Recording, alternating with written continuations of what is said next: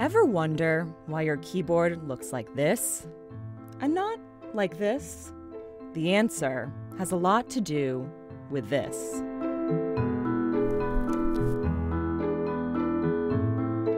QWERTY's creators never typed out exactly what they were thinking, and although not everyone agrees, this is why most experts believe the keyboard is laid out the way it is.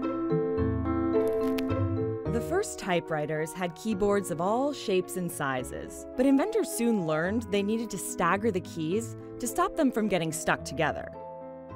In 1867, newspaper editor Christopher Latham Sholes was working on one early version. His first keyboard had the second half of the alphabet on top and the first half on the bottom, but the keys were still getting jammed.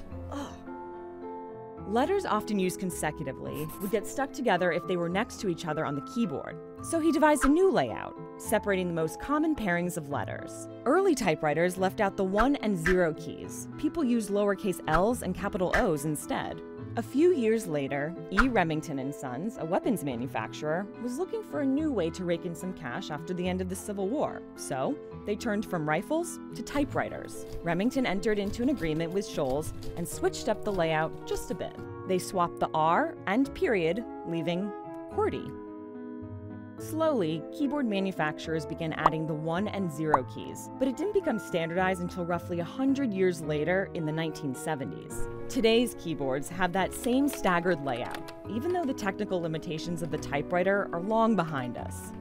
Clearly, we're no longer concerned with getting keys stuck together, but QWERTY stuck around.